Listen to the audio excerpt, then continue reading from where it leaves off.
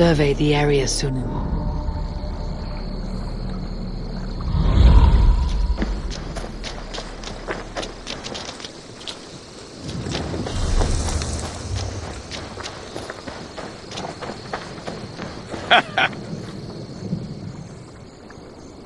I would like to...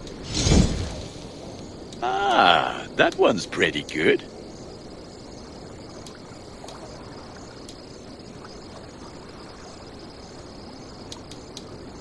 You are look.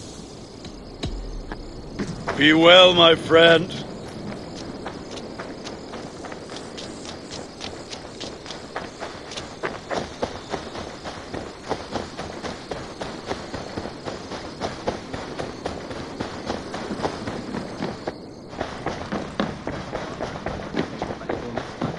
Get a bit of... Greetings. May I man the alliance table for Avon? Welcome back. Ceolbert. Getting used to us yet? Yes, indeed. Your people have been so hospitable, and Randvi has taught me so much about your tactics, your approach to war. But not so much that you might use it against us. No, heaven forfend. In spite of your invasive introduction to England, you have treated me and my father with kindness. I want this alliance to last, to mean something. I mean that. In truth, I think he does. Good. I'm glad you're fitting in, Ceolbert. Welcome back. You look well-travelled and rugged. May I man the alliance table for Avon next time? Get a bit of practice in. Absolutely not. Understood. We are allied with the Danes of Grantebridgescire. Their Jarlskona, Soma, has pledged an oath. Well done, Eivor. These early victories will pay off well. They will, in more than one way. One of Soma's finest fighters, Birna, has pledged her blade to us. She's a powerful fighter and a charming spirit. I think she'll fit in nicely. Glad to have her. Good work.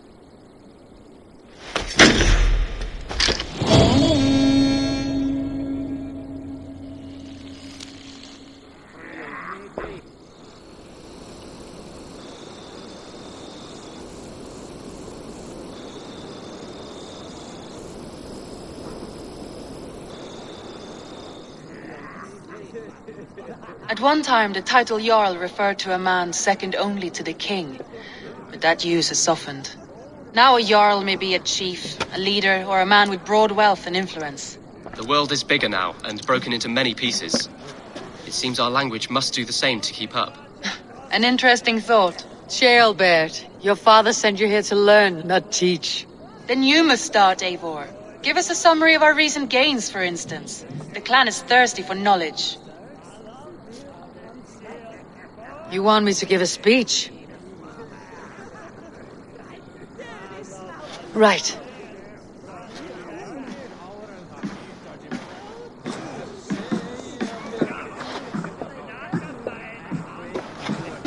My friends, hearken to me and hear a tale of triumph and toil.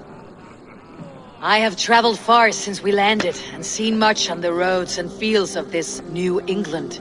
And for all my travels, strong alliances have we gained. The Honorable Ceolwulf, King of Mercia, now calls us friend.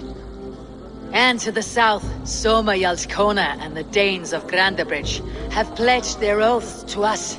By Sigurd's hand and my own, we have strengthened the ties of- You seat yourself as Sigurd's equal in these tales of yours. Would Sigurd do the same if he were here?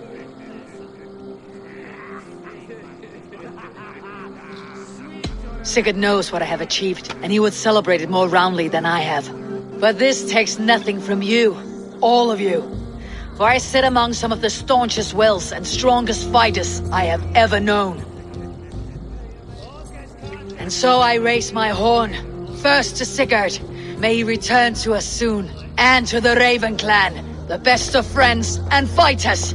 To Sigurd! To Sigurd! May he return and relieve us of you! And may all of you enjoy the ale as much as Dag has. Skull! Skull! You think me drunk, Eivor? Would it soften my blows if I was? Your words are blunt enough, but it would explain your boldness. My eyes are clear and open, and I see before me one eager to claim a piece of Sigurd's glory.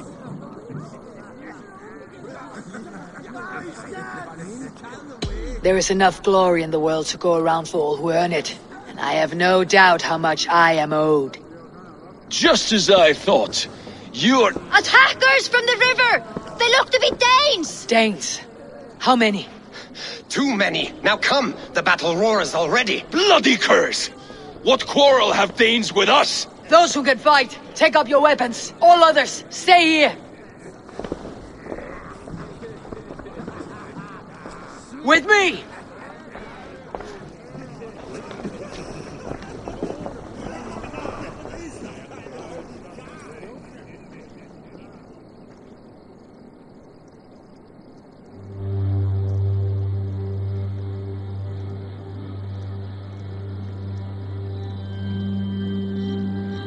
There is nothing for you here but death!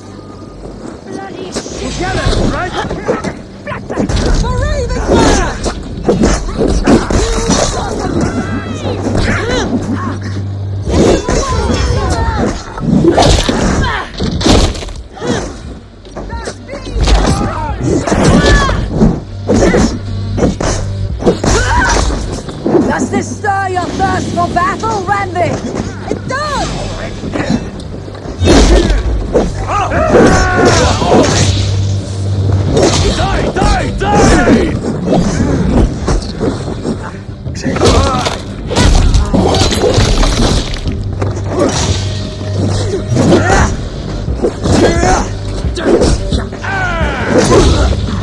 You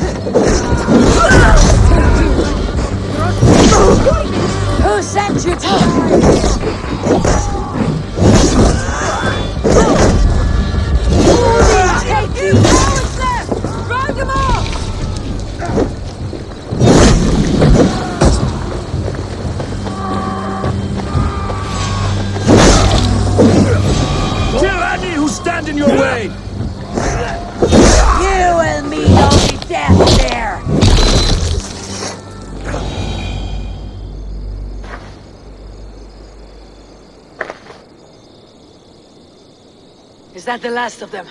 The rivers are clear. If more were coming, they thought better of it. By their colors and markings, I believe they come from Keatland. But with none left alive to spill their secrets, we may never know why. Here is one. This vermin was crawling to the river, hoping to float away. Ah, ah, have mercy, friend. And you may find an ally with us. Mercy's earned by the quickness of your tongue. Where do you come from and what is your quarrel with us? We are settled in East Anglia. Newly arrived and hungry for silver. You drifted off course. This is Mercia. As we were ordered. By whom? You bore me. Useless hound. Scratching your ass in search of silver. Put an end to this one. Your silence earns you no kindness, Geet. So I'll ask you once more. Who sent you? The wind sent us. And the rivers will take us home. He begs for death, Eivor. Give it to him. Or send him home with a warning. Let him tell his people what death awaits them should they sail this way again. Go, and do not return. Ugh. I thank you. This is not mercy, it is death deferred. Whoever sent you warned them of the slaughter that awaits, should any return. Oh, what tales I will tell. Send one of your scouts to follow him. We will find...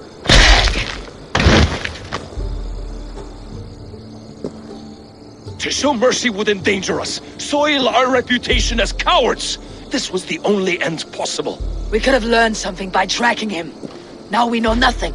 Sigurd would have acted as I did. That is all the justification I need. Sigurd is not here to make such a call, but I am. And if you cross me again, he will know about it. I see you, Eivor. And I know what you are. Put no stock in what Dag says. His bluster may be loud, but it blows softly. Get this cleaned up. We'll talk of next steps.